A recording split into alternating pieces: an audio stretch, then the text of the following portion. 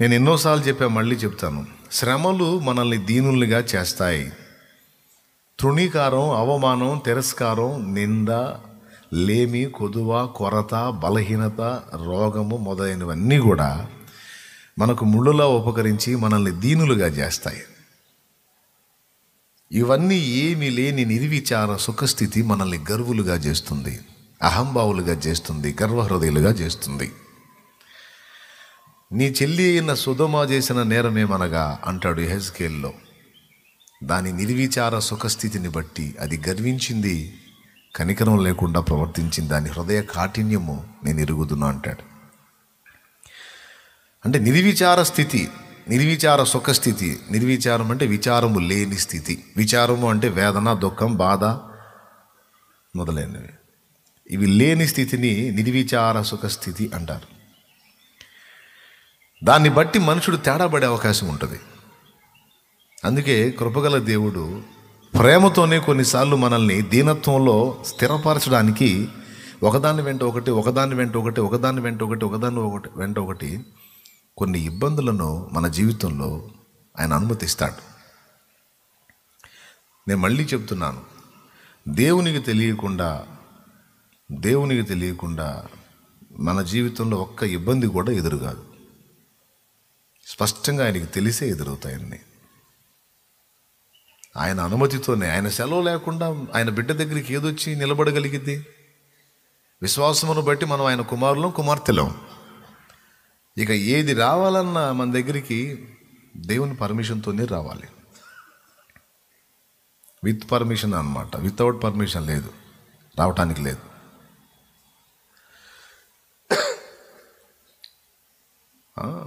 దురాత్మలకు కూడా అంధకార శక్తులు ఏదైనా సరే మనల్ని ముట్టాలంటే అంత తేలికైన విషయం కాదు. సెక్యూరిటీ ఉంటుంది మనకి కంచె ఉంటుంది. పరిశుద్ధాత్మ ప్రాకార కాపుదలు ఉంటుంది. అంత ఈజీ కాదు. దేవుని ఆత్మ నిన్ను వదిలిపోతేనే దయ్యాలు వాటంతటా వచ్చి అటాక్ చేయడానికి దేవుని పరిశుద్ధాత్మ నీలో నాలో ఉన్నంత వరకు ఆయన దూతల కాపుదల మన చుట్టూ ఉంటుంది. నీకు తెలియదు నువ్వు ఒక సామాన్యమైన విశ్వాసివే నువ్వు సామాన్యమైన విశ్వాసివే కానీ నీ చుట్టూ అనేక దూతల కాపుదల ఉంటుంది నీకు ఎప్పుడు ఇది నిజం. ఎందుకో దేవుని చిత్తమైతే మరో మరోసారి చెబుతాను. గతంలో చెప్పాను మీకు తెలుసు నాకు తెలిసి దాదాపు. ఉంటుంది మనకి. ఎందుకంటే యువరాజు పిల్లోడైనా సైనికులు కాపలా కాస్తారా కాయరా? ఎవరాని బుడ్డ పిల్లైనా సెక్యూరిటీ ఉంటుంది. కాకపోతే దగ్గరకు రారు కానీ ఆడ ముందు ఉరికెత్తుతా ఆడతా పాడతా పరిగెత్తుతా ఉంటే వెంట పరిగెత్తుతారు వీళ్ళు. తెలుసు కదా మీకు? ముఖ్యమంత్రి గారి సంతానం లేకపోతే ప్రధాని గారి పిల్లలు ఉన్నారు. ఖచ్చితంగా వాళ్ళకు కూడా ప్రొటెక్షన్ ఇవ్వాల్సిందే భద్రత ఇవ్వాల్సిందే. అట్లాగా ఎప్పుడైతే విశ్వాసమును బట్టి మారు మనసు పొంది బాప్తిస్మం పొంది దేవుని సంతానం అయ్యామో విశ్వాసమును బట్టి ఇక పరలోక సైన్య సమూహాలు మనకి సెక్యూరిటీగా వచ్చేసాయి ఇది నిజం. నువ్వు నమ్మినా నిజం నమ్మకపోయినా నిజం. లేకపోతే నువ్వు నేను మనం ఎదుర్కొన్న ఘట్టాలలో ఈ రోజు వరకు అసలు బతికి ఉండటమే సాధ్యం కాదు. అర్థమైందా? కాపుదల ఎందుకు అవసరమైంది అంటే మనకు ప్రమాదాలు ఉంటాయి కనుక మన మీద శత్రువులు అటాక్ చేస్తారు కనుక శత్రువు ఎలా అటాక్ చేస్తాడో పెద్ద రాజుకు తెలుసు కానీ పిల్లరాజుకు తెలియదు. పిల్లరాణికి తెలియదు. దేవునికి స్తోత్రం. తెలుసా? పెద్ద రాజుకు తెలుసు లేదా రాణికి తెలుసు కానీ పిల్లరాజుకి పిల్లరాణికి తెలియదు. వాళ్ళు అమాయకంగా పరిగెత్తుతూ ఉంటారు. కానీ ఎటు పక్క నుంచి దుర్మార్గులు ఏం దాడి చేస్తారో తెలియదు. అందుకని ఎప్పటికప్పుడు వాళ్ళకి కాపు కాసేటువంటి సైనికుల్ని అలర్ట్ చేస్తూ ఉంటారు. ఏయ్ ఎవరు చూస్తున్నారా బాబుని? యువరాజుని? ఏ కొంచెం గీత పడ్డా సరే సైనికులకు మూడిందే. కాపలా వాళ్ళకి మూడిందే.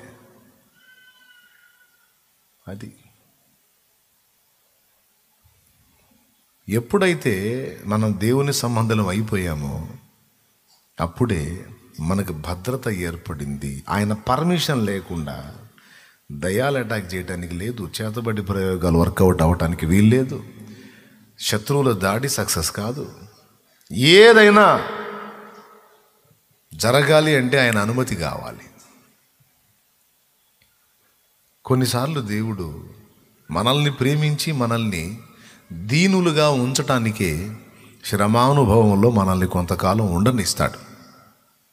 మనం బాగా విరిగిందాక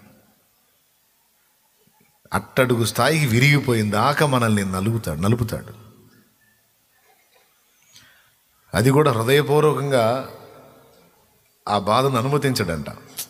నొచ్చుకుంటానే అనుమతిస్తాడంట. ఇబ్బంది పడతానే అనుమతిస్తాడంట. అది విలాపవాక్యాల్లో ఉంది. విలాపవాక్యాలు మూడులో ఉంది. దేవుడు హృదయపూర్వకంగా నరులకు బాధనైనను విచారమునైనను కలుగజేయడు. ఆయన ఒకవేళ బాధ పెట్టినను తన కృపా సమృద్ధిని బట్టి మరలా జాలిపడును అనే మాట ఉంది ఈ రెండు మాటలు ఉన్నాయి చూడండి విలాప వాక్యాలు మూడవ అధ్యాయము. ముప్పై రెండో ముప్పై ఒకటి ముప్పై రెండు. కింద వచ్చిన ముందు పై వచనం తర్వాత. హృదయపూర్వకంగా ఆయన నరులకు విచారమునైనను బాధనైనను కలుగ చేయడు హృదయపూర్వకముగా ఆయన విచారమునైనను బాధనైనను మన కలగజేయడంట. ఆహా అంటే నొచ్చుకుంటానైనా సరే కలిగిస్తావన్నమాట.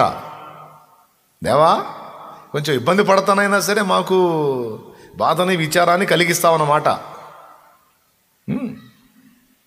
తప్పదు నాయన. తప్పదు. నీవు దీనుడవు దీనురాలివై ఉండాలి అంటే తప్పకుండా నేను కొంచెం నలగగొట్టే ప్రక్రియలో కొంచెం బాధ అయినా సరే నేను అది వ్యవహరించాల్సిందే తప్పదు అంటాడు. తర్వాత పై వచ్చిన ఇప్పుడు చదువు. ఆయన బాధ పెట్టినను తన కృపా సమృద్ధిని బట్టి జాలిపడును. నాకు అర్థం కాదు ఇప్పుడు మనల్ని బాధ పెడుతుంది దేవుడా మనుషులా? పరిస్థితులా దేవుడా? నోరు తెరిచి చెప్పండి? ఈ చదివిన వచనాన్ని బట్టి చెప్పొద్దు. చదివిన వచనాన్ని బట్టి చెప్పొద్దు. అసలు మీరు నలుగుతున్నారు. ఒక్కొక్కళ్ళు ఒక్కొక్క విధంగా నలుగుతున్నారు. మిమ్మల్ని బాధ పెడుతుంది మనుషుల దేవుడా? పరిస్థితుల దేవుడా? రోగాల దేవుడా? సమస్యల దేవుడా? అప్పుల దేవుడా? పిల్లల దేవుడా? భర్త దేవుడా? భార్య దేవుడా? అత్తింటోళ్ళ దేవుడా? పుట్టింటోళ్ళ దేవుడా? ఎవరు? సమస్యల దేవుడా? పెద్ద చెప్పండి. దేవుడా? ఎప్పుడు బాధ పెట్టాడు? ఎలా బాధ పెట్టాడు? దేవునికి స్తోత్రం. హలలు చెప్పండి గట్టిగా. సరే అనేది ఆలోచించి చెప్పమన్నాను. చెప్పండి ఆలోచించి చెప్పండి. నాకు సమస్యలు ఉన్నాయి అన్న అన్నోళ్ళు చేతులు ఎత్తండి. సమస్యలు ఉన్నాయి అన్నోళ్ళు చేతులు ఎత్తండి చేతులు ఎత్తకపోతే ఏ సమస్యలు లేవా? నాకు కూడా ఉన్నాయి. నేను కూడా ఎత్తుతున్నా చేతులు. రైట్ అందరికీ ప్రాబ్లమ్స్ ఉన్నాయి. రైట్ ఇప్పుడు ఎవరెవరికి ఏ ఏ విషయాల్లో సమస్యలు ఉన్నాయి? నాకు అప్పుల సమస్య ఉంది అన్నోళ్ళు చేతులు ఎత్తండి. అప్పు చేసింది నువ్వా దేవుడా? నువ్వు అప్పు చేసి నువ్వు వడ్డీకి తెచ్చుకొని నువ్వు ఖర్చు చేసి వాడొచ్చి అడుగుతుంటే దేవుడు నన్ను బాధ పెడతాడంటూ ఏమన్నా పద్ధతేనా? ఎవరు ఇందాక దేవుడు అంది. అప్పు చేసింది నువ్వు. అధిక వడ్డీ అని తెలిసి కూడా తెచ్చుకుంది నువ్వు. ఇద్దాంలే. అత్తయ్యలే ఇద్దాంలే అని. ఇయ్యగలేకపోయింది నువ్వు. దేవుడు బాధ పెట్టాడంటే ఎంతవరకు న్యాయం? కదా? ఇప్పుడు చెప్పండి యథార్థం చెప్పండి దేవుడా మనల్ని బాధ పెట్టుకుంది మనమేనా? పెద్దది చెప్పండి. డౌట్ లేదుగా? మనమేగా? మరి ఆయన బాధ పెట్టినను అంటాడేంది ఆయన బాధ పెట్టినను తన కృపా సమృద్ధిని బట్టి జాలిపడును అంటాడు. ఆయన బాధ పెట్టడం ఏంది? కొంచెం మనం ఎక్స్రే చేసుకొని చూసుకుంటే అన్ని అన్ని బాధలకి మనమే కారణం కనపడతాం. ఈ పనికి మనలోని చేసుకోకుండా ఉంటే బాగుండేది ఎగిరి ఎగిరి చేసుకున్నాను ఈ రోజు దంతున్నాడు అనేది ఒక బాధ. దేవునికి స్తోత్రం. హల్లెలుయా. ఈ పనికి మాలిందని చేసుకోకపోయినా బాగుండేది మనిషి చూస్తే శుద్ధంగా ఉందని చేసుకున్నాను అబ్బే బుద్ధి అంత దరిద్ర బుద్ధి. చిచ్చే అన్ని రోజు నువ్వు నేనే అనవసరంగా చేసుకున్నాను నా కర్మగాలని. ఎవరి మీద నన్ను ఎప్పమేస్తావా ఏ లేవు. ఇంకా పెద్దోళ్ళు ఫస్ట్ వద్దన్న పెద్దోళ్ళు అప్పుడు మనకి దేవుళ్ళలా కనపడతారు. ఫలానా ఆయన వద్దంటానే ఉన్నాడు. వద్దురా నీకు తెలియదురా. బలవుతావరా అంటానే ఉన్నాడు. ఆగానా? ఆ మనిషి కనపడ్డప్పుడు కూడా నువ్వు చెబితే ఇలా నేను. బాగానే అవుతుంది నాకు. అప్పుడు చెప్పినోడు చిరునవ్వు నవ్వుతాడు. వినరా? ఒక్కొక్కడు వినడం మరి ఏం చేద్దాం? దేవునికి స్తోత్రం. హల్లెలూయా. ఒక కోణంలో చూస్తే టోటల్గా అన్నిటికీ మనమే కారణం. టయానికి తిండి తినకుండా నిద్ర పోకుండా ఆలోచించి చించి చించి ఏదో ఒక రోగం తెచ్చుకొని దేవుడా ఎందుకు నేను నాకు ఈ రోగం పెట్టావు? మళ్ళీ దేవుడిని ఒక క్వశ్చన్ దేవుడు అంటాడు నేనే రోగం పెట్టాను పనికి వెళ్ళిందని నిద్రపోకుండా తిండి తినకుండా అన్ని ఆలోచించి పెద్ద ప్రపంచాన్ని ఉద్ధరించినట్టు. ఆలోచించి ఏం చేసావు ఏం సాధించావు నీ బొంద? అంట. సాధించింది ఏం లేదులే కానీ మరి ఆలోచించకపోతే ఎట్ట ప్రభా? లేఖనంలో ఏ రాసి పెట్టా? ఆలోచించటం వల్ల మీలో ఎవడు తన ఎత్తు మూరెడు ఎక్కువ చేసుకోనగలడు? రేపటిని కూర్చి చింతించొద్దు. ఏనాటికి ఆనాటికి చాలు. ఈ రోజుకు ఉంది తిను ప్రశాంతంగా నిద్రపో రిలాక్స్గా ఉండని నేను చెబితే ఫుడ్ ఇచ్చానా? తిన్నావా? తినలేదు తండ్రి. మరి ఏం చేశా? ఆలోచిస్తా పండుకున్నాను నాయన. ఎందుకు ఆలోచిస్తున్నావు? రేపటికి ఎట్ట చేయాలని? ఈ పూటకి కుండలో ఫుడ్ ఉంది కదా. ఉన్నదాన్ని తినాలి కదా. ఈరోజు అన్నం పెడితే ఈ అన్నం అక్కడ పెట్టుకొని రేపుడికి అన్నం ఎట్లా అని ఆలోచి నీ నాదా తప్పు నీదా? నాదే నాయనా. మరి నేను బాధ పెట్టాను. దేవుడా నన్ను ఎందుకు బాధ పెడుతున్నావు? నాకు ఎందుకు ఈ రాగు వచ్చి రాదు మరి? తిండి తినకుండా నిద్రపోకపోతే ఏ ఏ జబ్బైనా వచ్చింది కోటి విద్యలు కూటి కొరకే అని నేను ఫుడ్ పెడితే కమ్మగా తిని నా మీద భారం వేసి ప్రశాంతంగా ఉండకుండా ఈరోజు ఇక్కడ కూర్చొని పది సంవత్సరాలకు ప్లాన్లు వేసావు నువ్వు.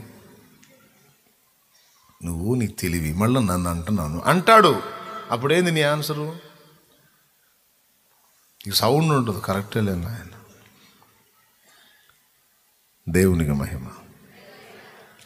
ఏ కోణంలో చూసినా మనం పొందిన వాటికి మనమే బాధ్యులం.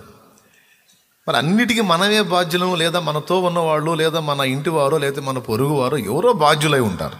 కరెక్ట్గా చూస్తే మనం. మరి ఏమైందండి? ఆయన బాధ పెట్టినను కృపా సమృద్ధిని బట్టి జాలిపడదు బాధ పెట్టేది దేవుడా? నువ్వు పౌలు గారి వచనం చదివించి ఎటు తీసుకొచ్చావు నాయన అని మీలో కొంతమందికి డౌట్ రావచ్చు. నేను ఆడికి పోతా మళ్ళీ ఆడికి పోయే నేను ముగిస్తా. ఫ్లోలో వచ్చింది కాబట్టి దేవుని సెలవు లేకుండా ఏది రాదు అన్న పాయింట్ దగ్గర మనం టర్న్ అయ్యాం ఇక్కడ. ఇప్పుడు చెప్తున్నా విను.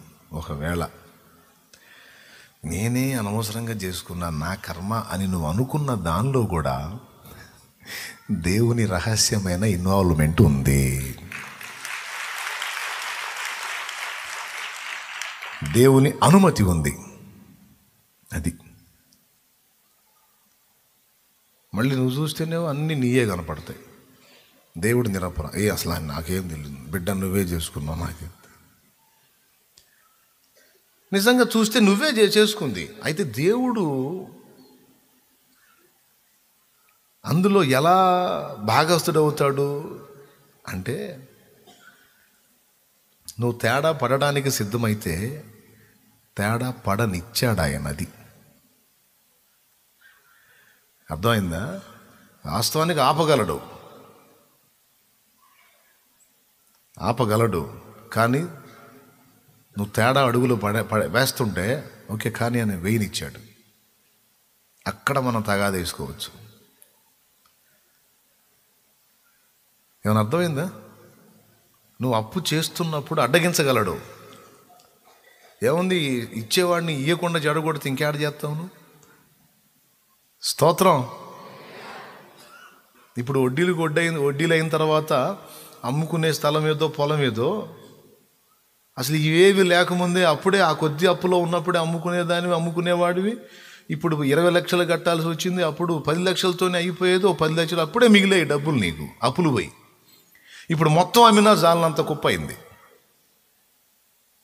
ఈ పొజిషన్లో ఉన్న వాళ్ళకి ఈ పాయింట్ కరెక్ట్గా అర్థమైంది. దేవునికి స్తోత్రం. హల్లెలూయా. కాలేదా? అయింది. నాకు తెలుసు.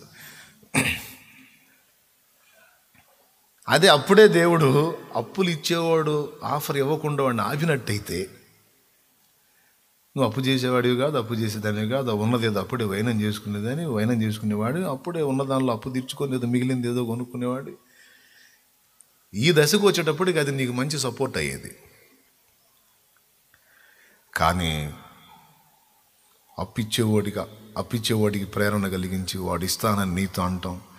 నువ్వు ఇంట్లో డిస్కషన్ చేసి ఫలానా అతను ఇస్తాను అంటున్నాడుగా ఇప్పుడు దీన్ని నమ్మటం ఎందుకు?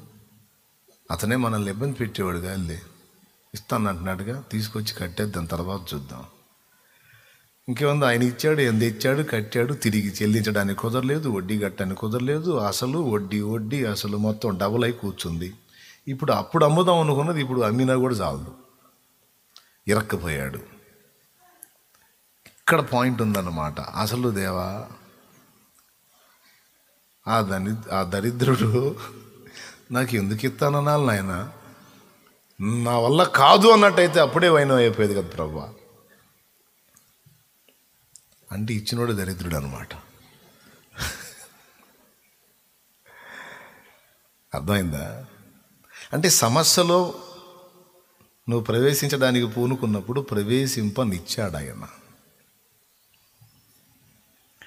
అలాగా కొన్నిసార్లు శరీర బలహీనతలు ఇతరత్ర ప్రాబ్లమ్స్ అవమానాలు హేళనలు.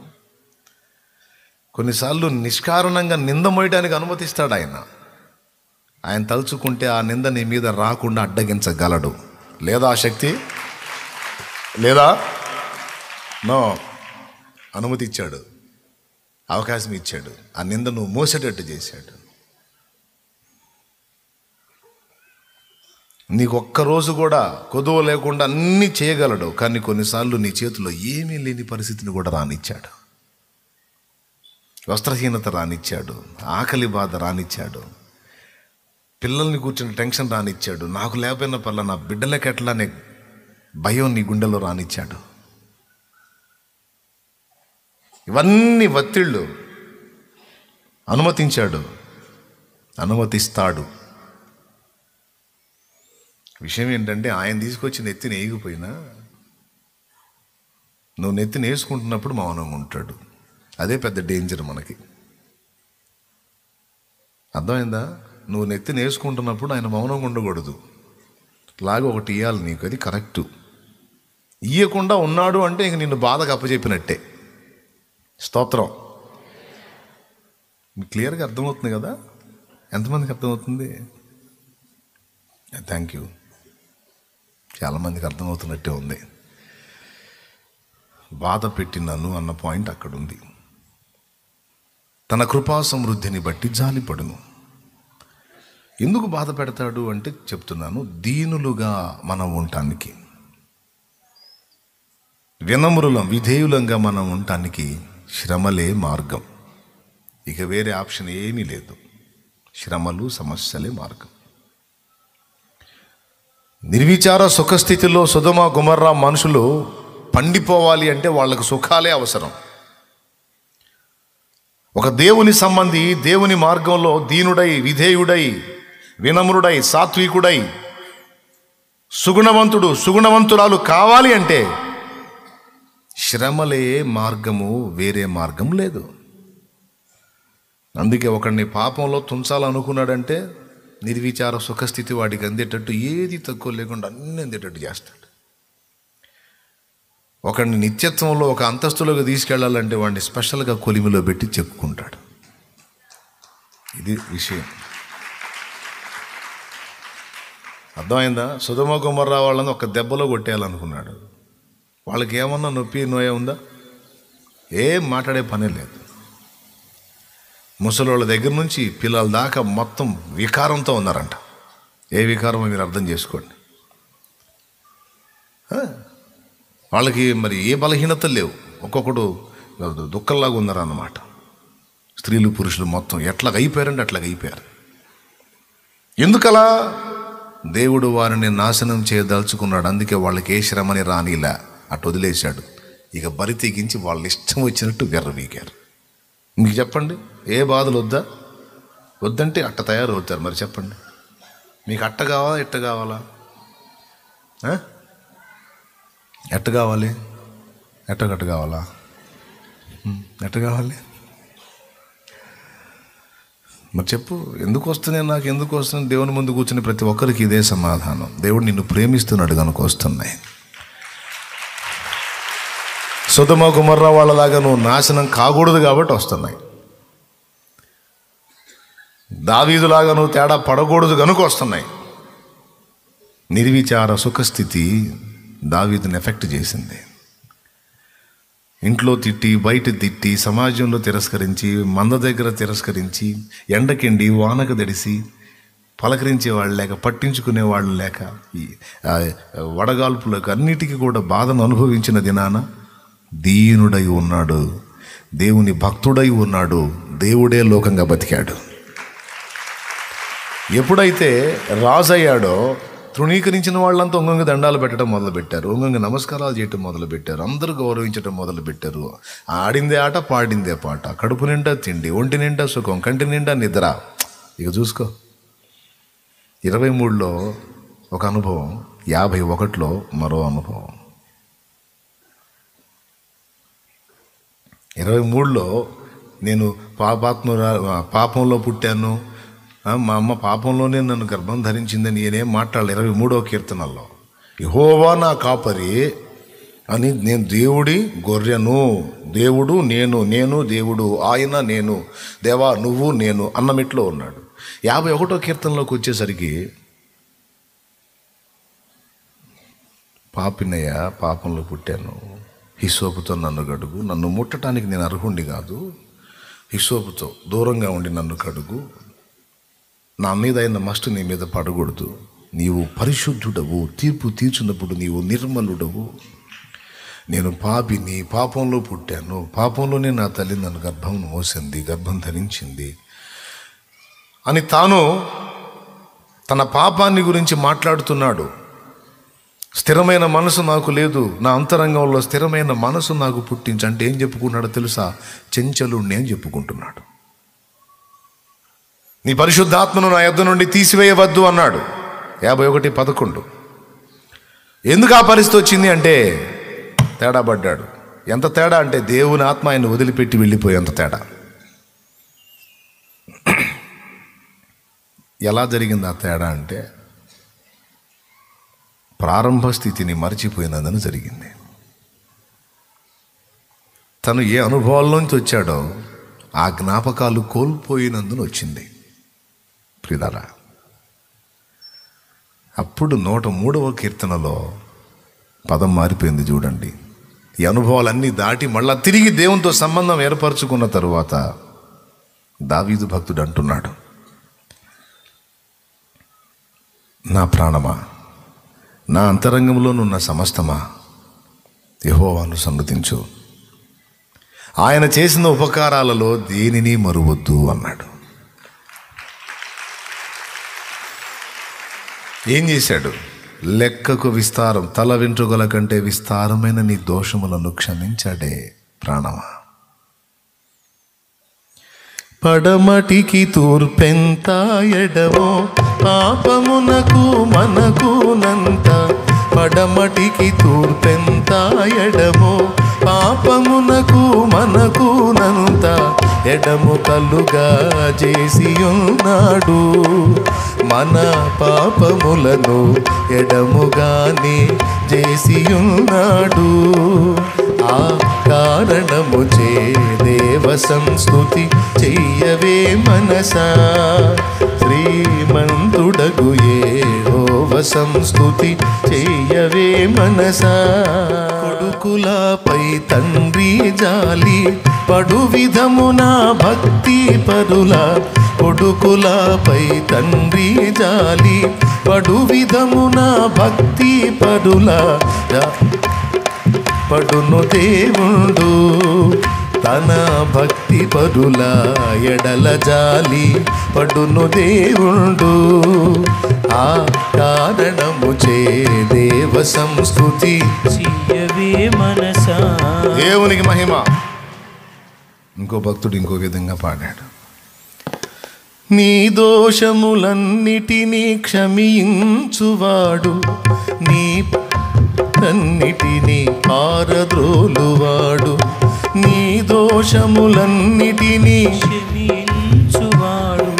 నీ పాపములన్నిటి పారద్రోలువాడు. నూట మూడవ కీర్తనని రకరకాలుగా పాడారు భక్తులు. మొత్తం కలిపి ఏం చెప్తున్నారంటే ఆయన్ని సన్నుతించు ఆయన చేసిన ఉపకారములలో దేనిని? తర్వాత ఇంకో ఇంకో కీర్తనలో దావీదే అంటాడు నీవు చేసిన ఉపకారములకు ఏమిచ్చి నేను నీకు సంతోషపెట్టగలుగుతాను? నేను నీకేమి చెల్లింతును? రక్షణ పాత్రను చేబూని నిన్ను వెంబడించదను. అంతేకాదు ప్రార్థనలు చేస్తాను. నూట పదహారో కీర్తన. అదిగో. ఎవరి కీర్తనమ్మా అది?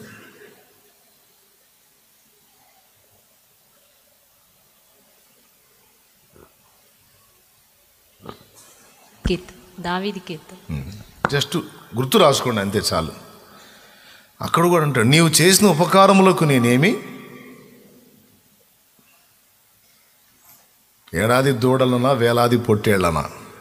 ఏమి ఇస్తాను మల్లెల కృపారావు గారు దీని ఒక పాట చేసేసాడు నీవు చేసిన ఉపకారములకు మరి మీకు తెలియని పాట? అయిపోయి అది చక్కగా మీరే నాకన్నా బాగా పాడుతున్నారు. దేవునికి మహిమ. ఎన్నిసార్లు ఇక నీ ఉపకారాలు నీ ఉపకారాలు నీ ఉపకారాలు అంటాడో మీరు ఊహించండి. తర్వాత మిగిలిన భక్తులు కూడా కీర్తన రాస్తూ ఇస్రాయేలు ఉదంతం మొత్తం రాసి వారిని ఆయన విడిపించను. ఆయనను వారు వెంటనే ఆయనను మరచిపోయిరి. ఆయన బాధ పెట్టుటకు శత్రువులకు వారిని అప్పగించను. వారు శ్రమలో ఉండి ఆయనకు మొర్ర పెట్టిది ఆయన వారిని విడిపించను. అయినను వారు దేవుని మరచిరి. ఒక కీర్తన నిండా ఇదే. ఆయన ఎలా చేశాడు? బండ నుండి మధుర జలములు రప్పించాడు. ఫరోని అతని సైన్యమును ఆయన ఎర్ర సముద్రంలో ముంచివేశాడు. వారిని విమోచించాడు. ఆయనను వారు ఆయనను మరచిరి. మరచారు మరిచారు మరి మరిస్తే ఏంటి? డేంజర్. మరవకూడదు. మరచిన నాడు కృతజ్ఞత పోతుంది. ఎవరైనా మనుషులైనా దేవుడైనా మనకు ఉపకారం చేసిన వారిని చచ్చినా మర మర్చిపోకూడదు. చచ్చినా కూడా మర్చిపోకూడదు. చచ్చిన తర్వాత వాళ్ళు మనం కలుస్తామే. అప్పుడు కూడా గుర్తు చేయాలి. దేవునికి మహిమ. చచ్చినదాకా మర్చిపోకూడదు అలా నేను. గుర్తుందా? చచ్చినా మర్చిపోకూడదు. అలాంటి మనస్సుని ఎవడు సాధన చేస్తాడో అతడు ధన్యుడు. అతడు ఆశీర్వాద కారణంగా మారిపోతాడు.